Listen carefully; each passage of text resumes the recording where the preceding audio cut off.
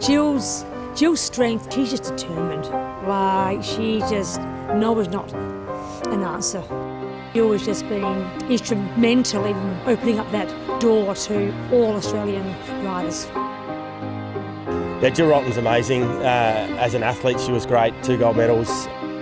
Gill went out there and took on the world and helped Australia to win.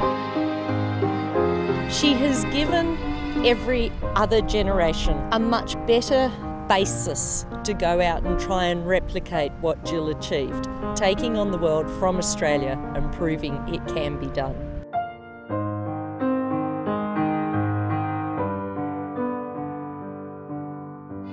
I've been very fortunate to be part of two Olympic teams and win two gold medals. You can't go through life and think about what if. The very, very best feeling is galloping with your teammates on your horse around that stadium, feeling like you own the world. It's just an amazing feeling. And then for Gillian to go on, she then became a very, very high level um, dressage judge. To move on and be event director and run an event, it's just fantastic. Every year we strive to make the event better and better. I salute you all. Thank you all for coming. She's been a great mentor to a lot of people and a, and a great, great support for the sport. Very proud of her.